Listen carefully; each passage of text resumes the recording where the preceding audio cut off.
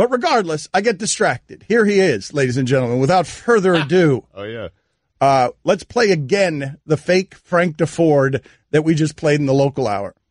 In the midst of old Havana, a couple of blocks away from the El Floridita, where the daiquiri was introduced to a thirsty world, is Parque Central.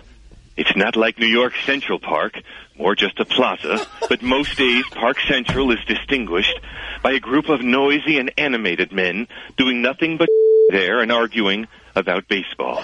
Wait a Such minute. Wait, wait, a minute. Wait a minute. What are they doing? They're sitting there and arguing Because it didn't baseball. sound like they were sitting there. It sounded like they were doing something else there with your lisp. I'm not certain what you're talking about.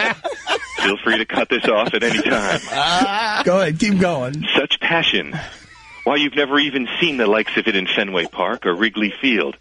Oh, I would love to be in Parque Central this March when the 16 most prominent nations of the diamond play in the first World Baseball Classic. It'll be glorious. All right. That's enough out of you, fake Frank Deford. Thank you for the appearance. Thank you for having me on the program. A landline. He hung up a landline. That's how long ago.